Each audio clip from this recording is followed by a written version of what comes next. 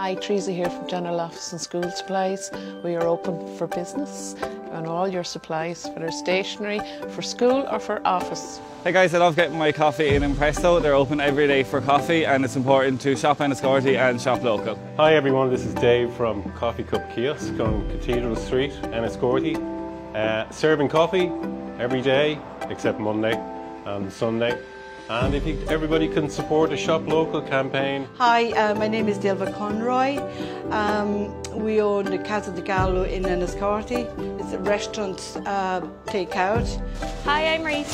Hi, I'm Selma. We're here at Impresso Cafe, asking everyone to shop in Enniscorthy and support local.